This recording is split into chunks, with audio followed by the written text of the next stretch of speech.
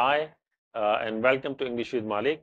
I hope you all are doing well and you all are learning and improving a lot from the lessons that I am helping for you. Well, uh, our today's lesson is all about future continuous. Future continuous, as the name suggests, is about something that will be happening in the future at a certain time. Okay, like uh, present continuous is talking about now at this moment. Past continuous talks about something that was in the continuous form in the motion in the past and the future is something that will be happening at a particular or specific time. For instance, you say that I will be meeting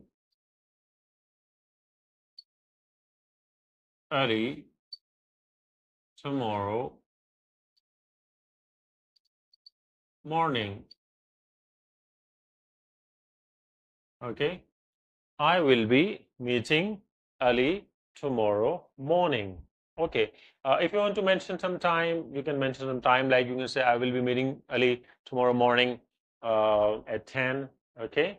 So uh, some specific time can come there as well. Well, with future uh, tenses, uh, the interesting thing is that uh, we don't have to worry about uh, the helping verb. Okay, so if it is I or you or we or they or he or she or it or one individual or two people it'll be the same okay? And uh, like i told you also in future simple and future indefinite that sometime some people think that uh, i and we shall will be used with them. So uh, don't fight with them. It used to happen. In the past people use it a lot but not you know in, in the modern English. So we just simply use will with all of these subjects. The negative is will not be. Okay. So I will not be meeting Ali tomorrow morning. You will not be meeting Ali tomorrow morning. We will not be meeting Ali tomorrow morning. They will not. He will not. She will not. It will not. Tim and Tom or Tim only will not. Okay. The negative is won't. So I won't be meeting. They won't be meeting. She won't be meeting. He won't be meeting.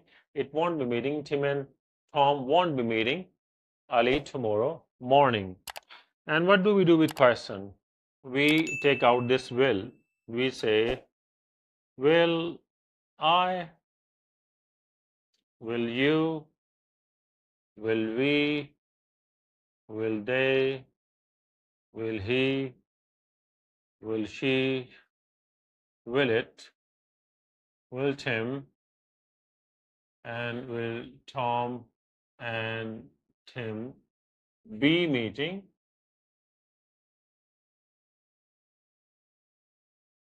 Early tomorrow. Okay, this is what we'll do. And a question mark. Of course, when you are making a question, put a question mark. A lot of the students make this mistake, especially when they're writing, that they don't put a question mark after the question. Well, uh, if, for example, you have written, will I uh, be meeting Tim tomorrow, or will I be meeting Ali tomorrow morning, and you don't put, put a question mark, that will be a problem of punctuation. And if you, you are doing it in the examination, uh, there might be a problem in your marks. So will I be meeting Ali tomorrow? Will he be meeting Ali tomorrow? Will they be meeting Ali tomorrow? Will it be meeting Ali tomorrow? Will she be meeting Ali tomorrow? Will he be meeting Ali tomorrow? Will Tom and Tim be meeting Ali tomorrow? Will Tim will, will be meeting Ali tomorrow? And answer could be yes, Tom will or no, Tom won't. Okay, so to sum up, I must say that future continuous is about what will be happening in the future at a particular time. Okay.